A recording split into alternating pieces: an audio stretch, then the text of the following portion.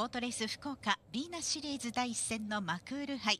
最後の準優勝戦第12レース。さあここはコース動きがあります。コースを狙うのは6号艇のオアシ。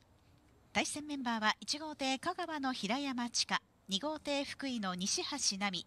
3号艇福岡の中川里奈。4号艇滋賀の茶谷さくら。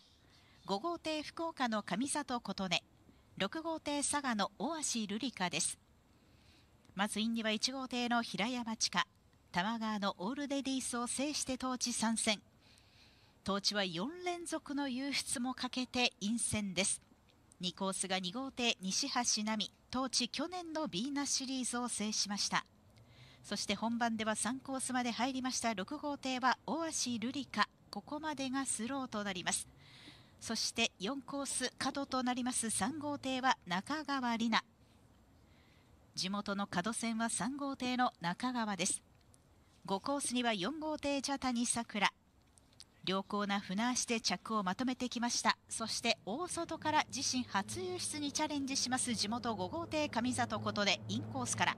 1番2番6番。3番4番5番。スタートしました。第12レースのスタート。ここはかなり波乱のスタートとなってしまった模様です。1周の1マーク。前提がバックスレッチへと抜け出しましたがこのレースは早すぎるスタートがありました。2号艇の西橋奈美そして6号艇の大橋瑠璃香2番と6番がフライング変換欠用となりました。2番と6番に関する投票権は発売額と同額で返還です。大切にお持ちください。さあ先頭を走っているのは3号艇の中川里奈追走2番手が1号艇の平山千佳です。その後ろに5番4番と続いてレースは2周目。1マークトップ旋回3号艇の中川続いて1号艇の平山。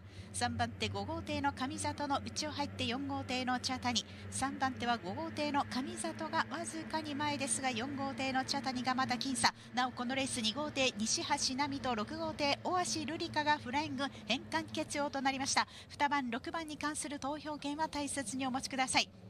先頭3号艇中川2番手1号艇平山3番手は5号艇の上里がリードを取り上位体系は3番1番5番で最終周回です。2艇がフライングという波乱の結果となってしまいました。最後の準優勝戦第12レース。先頭構想は地元です。3号艇中川里奈。2番手追走が1号艇平山千佳。3番手5号艇の上里琴音。